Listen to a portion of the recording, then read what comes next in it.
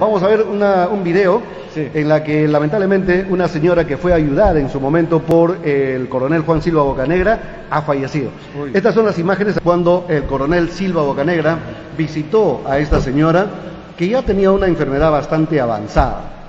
En los asentamientos humanos es pan de todos Sí, los sí. días, ¿no? Hay Uy, gente que están en cama, que la sociedad prácticamente ya se ha olvidado de ellos y la familia, los niños son los que sufren.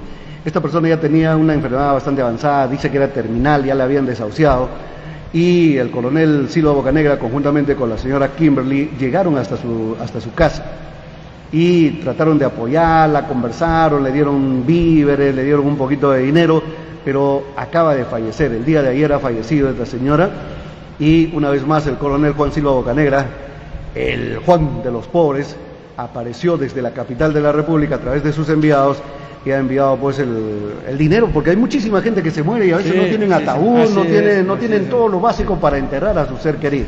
Que ¿Acá? en la que se está entregando el dinero. Esto, esto no es para que toda la gente se entere que se está dando dinero, sino para que se vea que está llegando el dinero para apoyar a esta familia.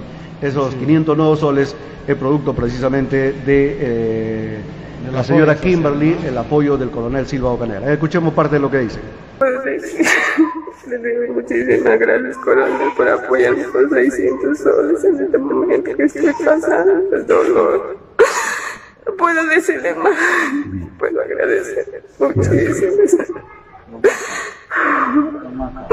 Bueno, son momentos coronel, eh. terribles que ha tenido y está pasando esta familia, deja niños, deja toda una familia en la orfandad. Esta- este cuadro seguramente que has visto constantemente en los asentamientos humanos, ¿no? Bueno, esta es la realidad de, de muchísima gente.